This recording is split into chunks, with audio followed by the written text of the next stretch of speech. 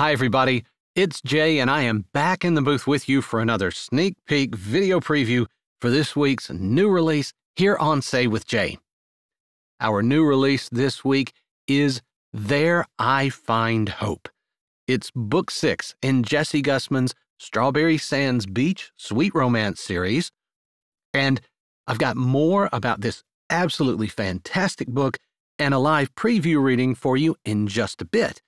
But first, as you all well know, Jessie has been including recipes within the course of her stories lately, and I've been making them for you here. We're going to do that again in another segment we like to call Cooking with Jay. Okay, now this is absolutely spoiler free, so uh, the the recipe itself doesn't really play any major role in the story, so don't worry about that. But what we're making today, or the recipe that's in the book, is onion soup bread. It is, well, in the story, Griff, who now co owns the diner with his wife, Chai, has been throughout this series making unique dishes to draw in customers and help the diner. And this time he's found a recipe for bread. And it's so good, people are actually ordering it as a meal. And we're going to make that. But here's the thing this is so simple. It is five ingredients, and it literally takes just minutes to prep and get into the oven.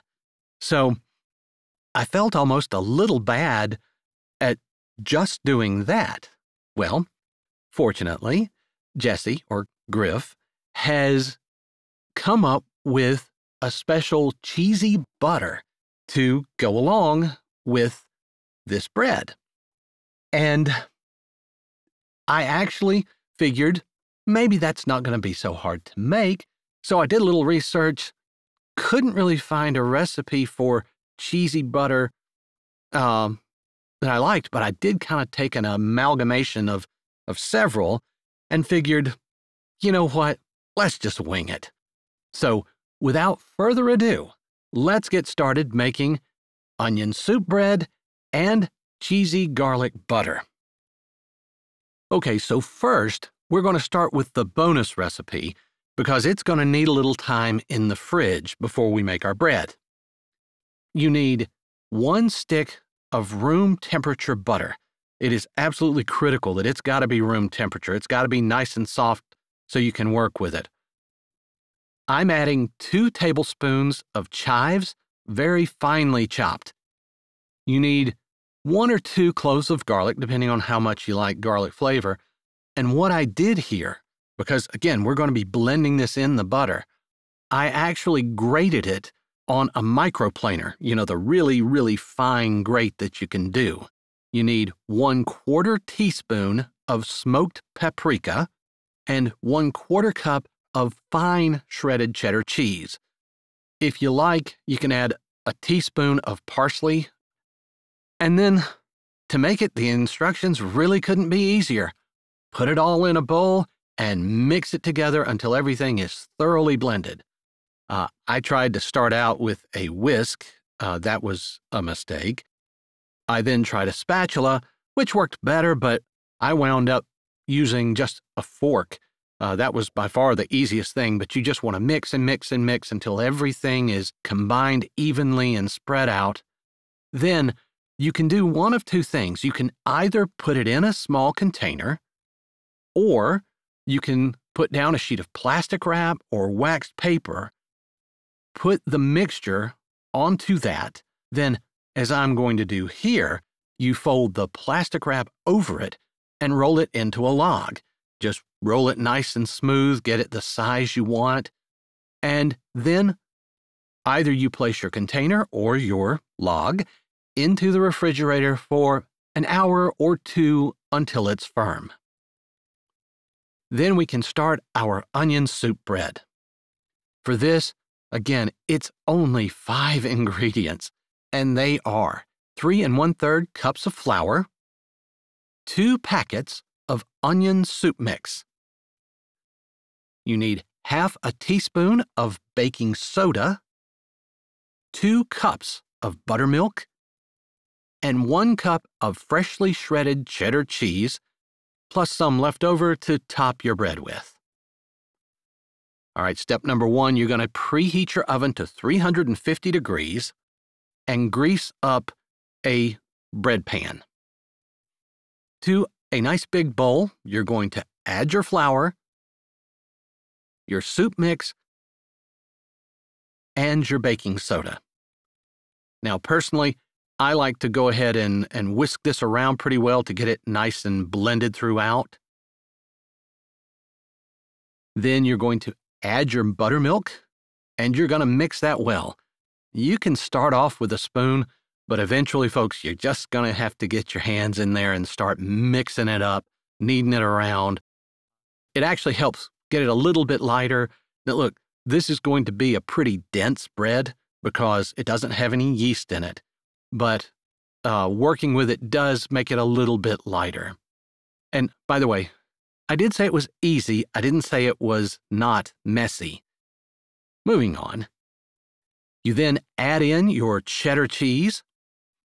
And once you get that worked into a dough really well, you put that into your greased loaf pan. Top it with more cheddar cheese as you desire. Bake for 50 to 60 minutes until it's nice golden brown and done. That is all there is to it. Give it a second to cool before you take it out of the pan, then cut you a slice, top it with that wonderful cheesy garlic butter that you've made, and serve it up however you like. A bowl of soup is just perfect to go with it. And there you go. It could not be easier to make either onion soup bread or the cheesy garlic butter, and even though it's a little messy, I do hope you guys will try it. It is savory, it's cheesy, and with that butter, oh. And by the way, if you're having something like tomato soup, a pat of that butter in the tomato soup will really plus it up. It's also great on things like steamed vegetables, and I'm sure you'll find dozens of other uses for it as well. Regardless, however you try it, if you do try those two recipes, I hope you'll let me know how it goes down in the comments. Okay, let's talk a little bit about There I Find Hope. There I Find Hope is the story of Sunday Landry. She has been back in Strawberry Sands with her child after her divorce She's been there about three years. She's opened a candy store. But our story opens with Sunday having suffered the most unimaginable, most painful loss the loss of her child. She's fallen into grief and despair, and she's closed her candy shop. She's moved back in with her mom and has trouble even getting out of bed. It's also the story of Noah Sterner. Back in high school, Sunday and Noah were good friends, but Noah had a crush on Sunday, which she didn't return, and eventually she met and married someone else and moved away. Noah went off to college and they never reconnected, but Noah never really got over Sunday. Now he's back in Strawberry Sands. Of course, Sunday doesn't notice him, understandably, but he wants to do something to help her overcome her grief. So he begins writing her anonymously. It turns out these anonymous letters really help Sunday and she's able to pour her grief out to her anonymous pen pal, and it's beginning to help her heal.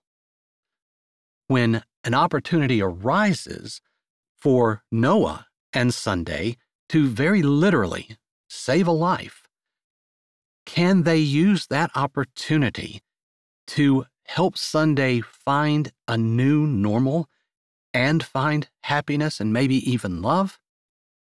Of course, you know you've got to come back this Friday to find out. But for now, here is one of the opening scenes from There I Find Hope. I hope you enjoy it, and then you'll come back this Friday for the full release here on Say with Jay. Noah stood uncomfortably at the back of the church. He really didn't belong here. Except he was a resident of Strawberry Sands and had gone to school with Sunday Landry. He had a huge crush on her, too. At one point, they'd been good friends. He had hoped for more, but she'd been swept off her feet by the man she eventually married when they were seniors in high school and he'd come to do a presentation about careers.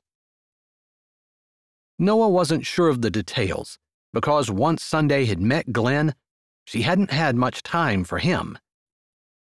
And that was understandable. He had more than one friend who had fallen in love and had neglected their regular friends for a while until the newness of their infatuation wore off. But Sunday had married and moved away, and Noah had gone off to college, and they had never reconnected even though she rented her candy store from his company, which owned the building. He didn't think she knew that. It wasn't common knowledge in town. He didn't go around announcing to everyone that his business had been successful, or that he'd come back to Strawberry Sands and invested in the town he loved and grew up in. He'd been biding his time since Sunday moved back. Several large projects had taken his time in Chicago. One, a hotel just north of Strawberry Sands, had just been approved and they were breaking ground on it soon. But this, he couldn't even fathom the pain she must be going through now. Because he cared for her, high school was a long time ago, but he supposed he was the kind of man who was friends forever. He wanted to do something, anything, to help her but he didn't know what. So he just showed up at the funeral. His heart aching, his soul longing to help, his hands itching to do something. But all he could do was stand in the back, awkward, nodding to the people he knew, which was almost everyone, and wondering if Sunday really wanted him to come up and give his condolences or if she'd prefer not to have to interact with almost strangers. He decided that he would simply go to the casket, stand respectfully in front of it for a few moments, and then walk out, not adding to the line of greeters and hence the amount of time Sunday had to spend on her feet. Seeing him might dig up memories she would rather keep buried. Not that they had any bad blood between them. It was just he was around when she decided to run off with Glenn, which had obviously not worked out well for her. As Noah stopped in front of the casket, he glanced over and narrowed his eyes. The man standing in front of her now, holding tightly to the hand of a slender blonde woman, who gripped the hand of a young child, looked a lot like an older version of what he remembered Glenn to look like the man spoke to Sunday, whose grief laden face suddenly looked stricken, like the man had stabbed her in the heart. Noah's jaw tightened, but if that was Glenn, Noah knew divorces could be nasty, and perhaps Sunday was still in love with him. Obviously, he had moved on. Noah turned his face back toward the casket, not really wanting to look at the lifeless little boy the one he'd seen cheerfully holding on to Sunday's hand, skipping up and down the sidewalk, his laughter ringing out over the streets as Sunday's smile lit up her entire face.